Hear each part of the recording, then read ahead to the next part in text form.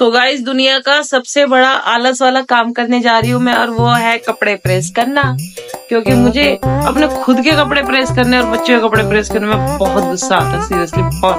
मतलब सबसे बड़ा आलस वाला काम है सबसे बड़ा। इसलिए ना मैं जींस टॉप पहन के जा रही लेकिन क्रिश कह रहा मम्मी आप, आप मोटे हो गए हो पहले सही लगते थे। अभी आप अपना पेट अंदर कर लो तब आप पहनना जींस मैंने कहा, चलो भाई, ठीक है।